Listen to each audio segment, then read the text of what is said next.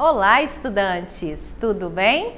Eu sou a professora Juliana e o tema da nossa aula de hoje é anúncio publicitário. Isso mesmo.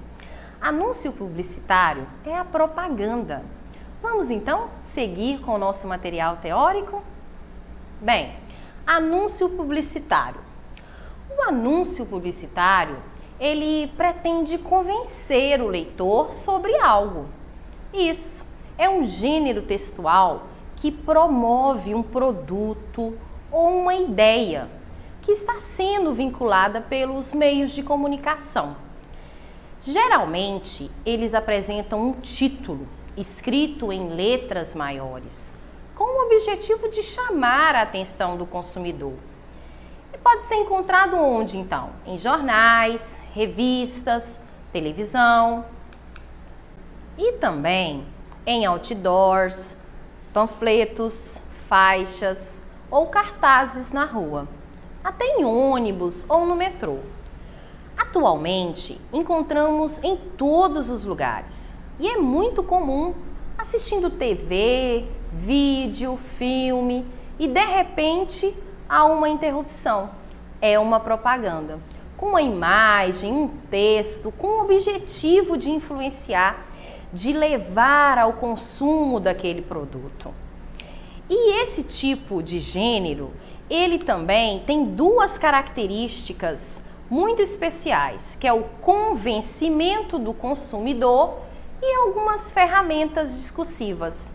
Então vamos lá. No primeiro, o convencimento é para a compra de um produto e de serviço, é para que você adquira esse produto. As ferramentas, é, os publicitários, né, eles, é, os responsáveis que produzem esses anúncios, eles utilizam de imagem e até mesmo de uma linguagem simples, é, com humor, justamente para que sejam é, atrativos, não é isso? Pois é. O que é importante a gente perceber que existem características do anúncio publicitário. E aqui nós relacionamos algumas para que a gente possa analisar. Ele é de caráter comercial, sim. Caráter comercial é a divulgação do produto, é a relação de venda e compra. Também é uma linguagem verbal e não verbal.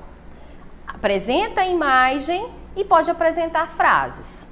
Tem uma linguagem simples e são textos curtos não é mesmo? E apresenta também textos persuasivos e atrativos. O que, é que nós podemos entender de textos persuasivos? Bem, é de acordo com a função, com as funções da linguagem. Os anúncios publicitários são textos que apresentam a função de convencer os receptores da mensagem, ou seja, os consumidores eles utilizam desse recurso para reafirmar que você realmente precisa adquirir aquele produto. Apresenta humor, ironia e criatividade. É, os verbos no modo imperativo. Muito importante falar sobre o modo imperativo, que é responsável né, para fazer com que você faça, realize a ação expressa o que quer que ele faça. Por exemplo, quando eu digo compre, faça, não é mesmo? Então, todos esses verbos, eles também trabalham nessa construção de te convencer. E que você faça algo que está sendo dito ali. Tem figuras e vícios de linguagem. Vício de linguagem são expressões utilizadas na nossa oralidade, né? Aproxima da linguagem informal. Uso de cores, imagens e fotografias. Todos esses são recursos para atrair a nossa atenção.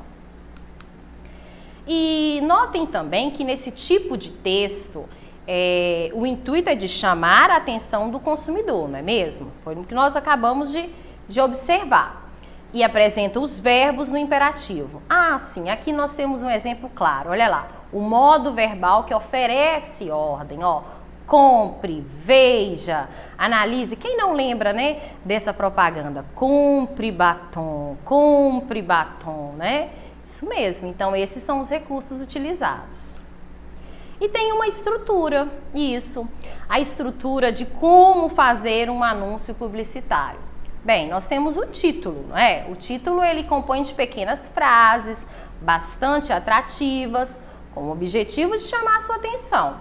Então, olha lá, que nós temos uma figura, né, que já nos dá água na boca, porque nós estamos vendo um chocolate. E aí, olha a frase: Novo chocolate asteca, mais delicioso.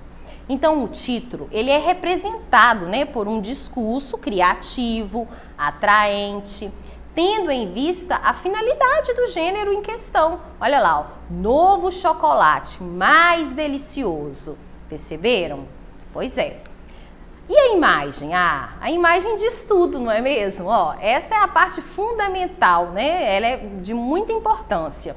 É, muitas vezes nos sentimos atraídos pela imagem. Olha só, observem essa, né? Nós, nós temos o interesse de conhecer a partir do momento que a gente viu aquela imagem. E é importante também nós falarmos agora sobre o corpo do texto. Isso. No corpo do texto, é, aparece, né? Nós temos aqui a presença dos adjetivos e também os verbos no imperativo, até vocativos e imagem. É nesta parte que desenvolve a mensagem propriamente dita. Tem a identificação do produto, né? E muitas vezes, ó, ele é apresentado de maneira breve, numa linguagem clara, simples, né? É, utiliza muitas vezes da linguagem informal, que se aproxima muito do público-alvo. Então, assim, é, no corpo do texto é que tende aí a, a nos convencer de que a gente deve consumir esse produto. Vejamos o exemplo do corpo de texto. Experimente o novo e delicioso chocolate Azteca, com mais de 70% de cacau e 0% de gordura saturada. Observem, aqui no corpo de texto nós temos o emprego do adjetivo novo e delicioso, justamente como um recurso para influenciar. E temos também a identificação do produto ou marca. Bem, essa identificação do produto ou marca, elas funcionam como uma assinatura do anunciante podendo também aparecer aqui o slogan, isto é, aquela frase, né, que vem sem ou com o verbo, mas que procura caracterizar o produto. A frase, né, é de efeito. É assim que é chamado os slogans. São criações justamente para que você memorize e lembre do produto é, com facilidade. Por exemplo, quem não se recorda das Havaianas, as legítimas? Realmente ficam registrados na nossa mente essas frases de efeito. Outro detalhe também é o contato, que são essas informações né, da empresa que comercializa o produto.